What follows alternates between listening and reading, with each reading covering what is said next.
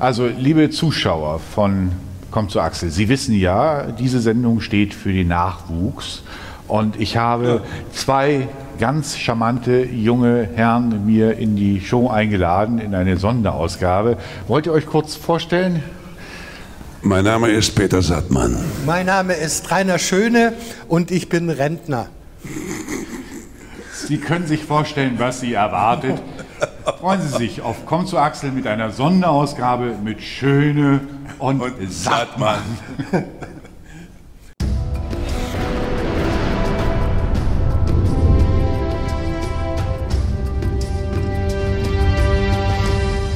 Liebe Zuschauer, ich bin sehr stolz und sehr, fühle mich sehr geehrt, dass er den Weg zu uns gefunden hat. Zu verdanken habe ich das dem Schöne, meinem liebenswerten Nachbarn. Herzlich willkommen, Peter Sattmann. Freut mich, danke. Mikro. Äh, danke. Wunderbar. Wir, also du hast eine Keule, ich bin verkabelt. Okay. Ja, dass, wenn du die Sendung übernimmst, ich fühle mich sehr geehrt, dass ich du sagen darf. Ne? Also Aber das, du gehörst zu den. Das hast du doch einfach gemacht. Ja, ne, Ohne mich zu einfach frech. bin wahrscheinlich. Du bist auch ein bisschen weiter hintergerutscht. Komm ein Stückchen vor zu mir. Ich beiße nicht, ich bin ganz lieber, hoffe ich doch jedenfalls. Peter, Yes. soll ich Sie sagen? Nein, nein. Nein, du. Du kommst auch ursprünglich aus dem Osten. Das hat mich sehr überrascht. Äh, aus Zwickau, ist das richtig? Zwicke heißt das. Wie heißt das? Zwicke. Aus Zwicke. Zwicke. Für den Hamburger heißt es Zwickau, aber eigentlich heißt es Zwicke. Okay. Und soviel ich weiß, bin ich der zweite Schauspieler, der aus dieser Stadt überhaupt kommt. Der erste ist der wunderbare, alte, leider schon verstorbene Gerd Fröbe. Ach ja. Der kommt auch aus Zwicke, dem hat man es auch sein Leben lang Wollte- angehört. wollte er, ich sagen, da habe eine schöne, ich habe nämlich mal mit ihm gedreht, das war in den 80er Jahren. Ich glaube, es war sogar seine letzte Rolle, die er gedreht hat. Und ich war, also ich fühlte mich als niemand, jedenfalls habe ich ihn unheimlich bewundert.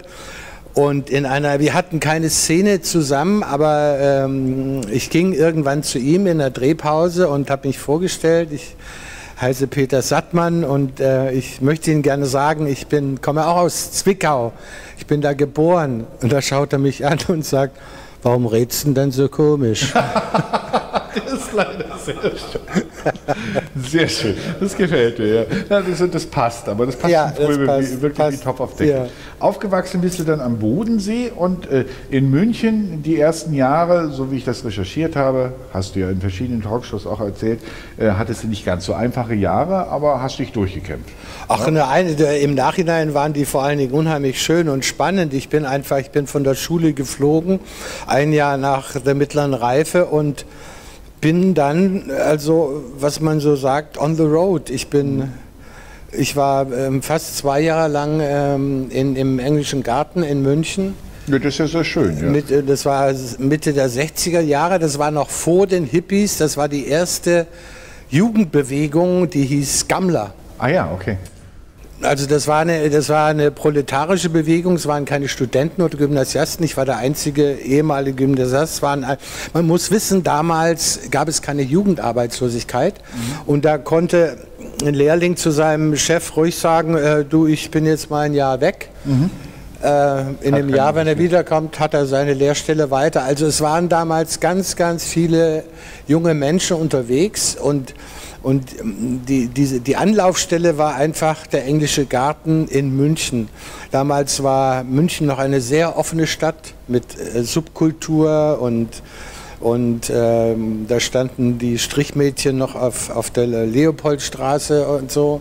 Ja, das hat sich alles sehr verändert. Das hat sich, äh, ich sage immer, die Stadt ist inzwischen vergauweilert, also das hat sich, hat sich, hat sich sehr geändert, aber damals äh, hieß sie ja noch die Weltstadt mit Herz. Herz. So ist es, Und ja. das war sie im wahrsten Sinne des Wortes. Und ich habe mich da, also von 66 bis 67,5 äh, habe ich mich im englischen Garten rumgetrieben und dann bin ich auf die Schauspielschule Wollte gegangen. ich gerade sagen, also auf der neuen Münchner Schauspielschule dann gelandet, Ja. dort die Ausbildung gemacht. Ähm, äh, so- sicherlich war natürlich dieses Jahr oder diese Zeit äh, dieses freien Lebens für dich dann auch eine unglaubliche Schule des Sehens, ne? also für die späteren Rollen. Absolut. Dann hast du eine Theaterlaufbahn hingelegt und circa 200 TV-Rollen gespielt. Das ist unfassbar. Gefühlte, und da zitiere ich dich jetzt selber, Ja. Genau. gefühlte 50 Jahre Theater und gefühlte 100 Jahre vor der Kamera. Ja. Wie schafft man das? Indem man muss, wa? Nee, Oder die Jahre nee wenn es Spaß macht. Also ich, ich glaube, ich, äh, ich habe so eine Maxime im Leben, Pleasure makes sense. Das kann man im Deutschen eigentlich gar nicht sagen. Das ist mein Lebensmotto. Also Lust ist oder Vergnügen, die Freude ist der Sinn des Lebens. Und ich habe, glaube ich, toll, toll, toll, war ich immer in der Lage, das zu machen, was mir Spaß macht. Und ähm, ja, man merkt es den Rollen an. Also ich, äh, ja. habe es nicht nötig, Süßholz zu raspeln, ja. aber ich habe dich nie schlecht gesehen. Ah, das, das, ist, das ist natürlich ja, toll. Also ich habe mich schon ein paar Mal schlecht gefühlt. Gut, gefühlt ist noch was anderes.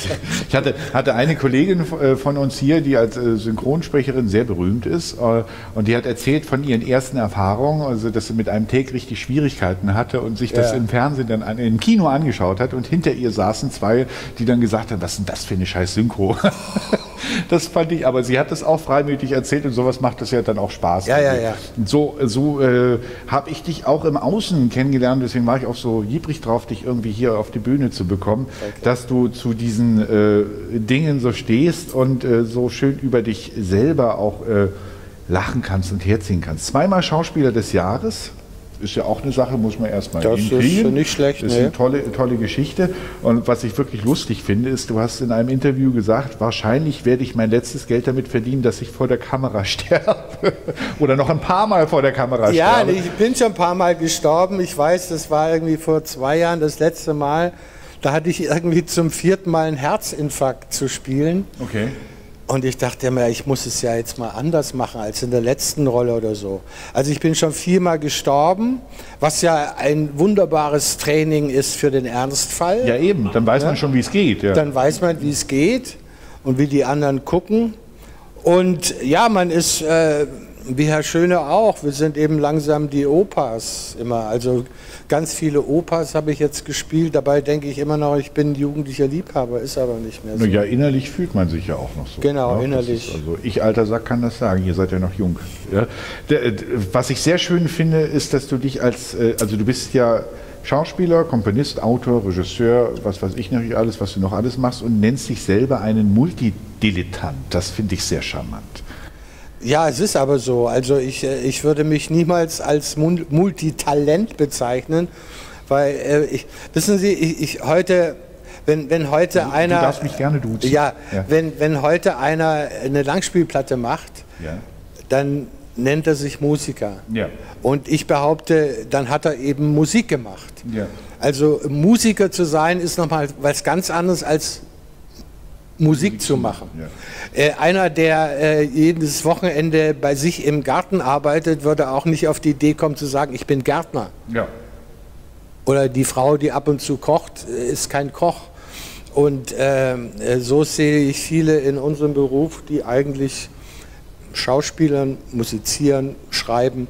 Also ich, ich bin kein Schriftsteller, ich vielleicht Schauspieler. Das ist das Aber Einzige, du hast ein Buch geschrieben, wenn ich das richtig irgendwie mitbekomme. Äh, Oder du schreibst noch dran? Nee, nee, ich habe ähm, Theaterstücke geschrieben. In der ja, Zeit, als ich noch am Theater war, habe ich viel fürs Theater geschrieben. Ja. Und werden die auch noch aufgeführt, noch gespielt? Äh, Zurzeit nicht, aber das ist ja alles schon 20, 30 Jahre her. Aber äh, in dem Abend, ähm, den wir zusammen machen, mhm. da lese ich ein, ein großes Stück aus einem meiner Stücke vor. Schön. Das sind alles äh, Und äh, gibt es Motivation, Neues zu schreiben oder momentan eher weniger? Oder, äh, es ist so viel, was? ich bin so Macht so viel Arbeit, ne? Ja, es, Ist, es ist alles ist Arbeit. Ich, ich, ich sag dem Rainer, der hat ja äh, ganz viel mehr Pfeffer unterm Arsch, muss es ja auch, weil er noch zwei Kinder ernähren muss und eine Frau. Mhm. Ich bin bin Single, ich äh, bin nur für mich verantwortlich, ich bin richtig faul und sehne mich eigentlich wirklich nach dem Ruhestand. Okay. Naja. Ja, das ist da, Ruhestand ist da was Wunderbares. Aber du bist ja prädestiniert eigentlich für eine unserer Serien, die wir hier gemeinsam mit äh, Turner TV äh, inszenieren, Mutter Mutter. Da wird ja der Lebensabend einer Diva oh. äh, dargestellt. Äh, vielleicht kannst du ja Mutter in ihrem Ruhestand zur Seite stehen. Müssen wir genau. mal gucken, ob da was das geht. Das schauen wir. Was mir aufgefallen ist auf deiner Webseite, du hast ja eine Webseite, ähm, du bist... Ähm, ich war der erste Schauspieler der so ein war, Ding hatte. Ich hatte 2000, von, also von 99 auf 2000, in diese Silvesternacht habe ich, da habe ich ein, ein, Jahr lang, ich habe die ja selber gemacht, mhm. ein Jahr lang dran gearbeitet und 2000 in der Silvesternacht habe ich sie eröffnet Und ich war damals wirklich, es war nicht mal die Schauspielagentur, nicht mal die ZBF war online. Haben die heute, sind die heute überhaupt? Ja, ja, inzwischen hat jede Agentur und so, aber damals gab es keine deutsche Agentur. Ich hatte das nur ein paar ähm, Kollegen, hätte ich beinahe gesagt, amerikanischen Schauspielern so abgeguckt, weil ich gesehen habe, die haben alle ihre, ihre eigene Webseite oder so. Ja, ich habe das mitbekommen, also dass du Computer, also sozusagen von der Erfindung der ersten Taste warst du mit dabei. Richtig. Ja, so vom, vom Interesse her. Ich war einer der ersten Menschen, die online gingen in Deutschland. Oh, das wird Mutter gefallen. Da, Wer? Das wird Mutter gefallen. Ja, da musste man noch den Telefonhörer, damals hatte man Ja. diese richtige, die ähm, legte man auf so eine Schale, das nannte sich Akustikkoppler. Ja. Und dann liefen, äh, fielen die Bits einzeln durch. Also um Ja, dann ich arbeite Text, heute noch so. Ja. also jedenfalls denkt Frau Torner das immer. Ja. Also jedenfalls eine halbe Stunde brauchte es, brauchte es, bis sich eine Textseite aufgebaut hat. Also seitdem bin ich online und was ihn total schreckt, den Herrn Schöne ist, dass ich Seit 1996 mache ich schon Online-Banking. Damals gab es noch das BTX, war auch alles Sind denn diese schmucklos. Überweisung schon angekommen von Ja, ja, ja, okay. ja. Aber langsam von 96, ja. Hm. Naja, da waren dann kleinere Summen. Nein, nein, ich, äh, ich bräuchte eigentlich nur ein kleines Zimmer und einen Computer für meinen Lebensabend. Oh, das ist günstig. Das ist, ich glaube, das können wir dir stellen. Äh, ja? Gucken. okay. Okay, was mir aufgefallen ist auf deiner Seite, was ich sehr witzig fand, es gibt eine Webseite für Männer und es gibt eine Webseite für Frauen. Fand ich klasse. Ja. Ne, also so irgendwie, ich habe sehr lachen müssen. Fand Ja, eine ne, ich kriege sehr viele. Also immer wenn ich abends in der Glotze bin, dann, Ja. dann gehen die Besucherzahlen natürlich hoch. Dann Ja. gucken die Leute, weil Ja, sie ein Autogramm schreiben müssen und so. Und ich kriege wirklich fast täglich irgendeine E-Mail, wo sich Leute amüsant, äh, amüsiert ausschütten über meine Webseite, weil als ich die machte, äh, äh, wollte ich ja nicht eine Webseite machen wie üblich, sondern eigentlich eine Parodie auf eine Webseite. Ich hatte mal, äh, äh, muss ich noch schnell erzählen. Also ich, ähm, Silvesternacht stelle ich die online. Am nächsten Morgen ruft mich ein Freund an, den hatte ich gesagt, du, du äh, meine Website ist jetzt online, geh mal, geh mal drauf, wie sie dir gefällt oder wie sie läuft. Und der rief mich am nächsten Tag, bist du verrückt? Mein Computer ist abgestürzt. Es ist alles, weil ich ja da diesen Spaß mit den Viren, falls sie, äh, falls sie falsch klicken oder so, dass sie sich ein Virus holen. Also ich hatte die so vollgepackt mit JavaScript und Audio und Ding und Ding, dass sie, und was, was ich damals nicht wusste, wenn man äh, auf dem Mac was programmiert, heißt das ja noch lange nicht, dass es auf dem PC geht oder so, auf Windows geht. Also jedenfalls äh, musste ich nochmal alles schlanker machen und eben gucken, dass, das, dass den Leuten nicht wirklich der Computer abstürzt, wenn sie meine Webseite Das war besuchen. damals noch so, ne? Das war damals ja, ja, noch so, klar. ja. Dann hast du auch irgendwie noch so deinen Senf, deine Senfseite, also Die den Senf Senf, da habe ich aber schon lange. Es ist so eine gab lange Webseite. keinen Senf mehr, den du Ja, ich, äh, äh, damals habe ich eben jeden Tag irgendwie und jetzt ist es ein bisschen eingeschlafen, aber ich werde sicher wieder mal versuchen Unbedingt. zu aktualisieren. Also die, diese Seite für die Frau ist toll, ne? Ja, herrlich. Wo die Ich Abseitsregel fühlte mich als Frau wird. sofort angesprochen.